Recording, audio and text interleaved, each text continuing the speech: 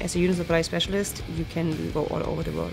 This MOS is important to the Army because we are suppliers. We supply every unit with little items such as pens, toilet paper, to the big end items such as tanks and even weapons. We get a lot of experience with working with different types of weapons. Traits that we look for, well-rounded individuals who's very versatile, takes initiative, and can work under pressure.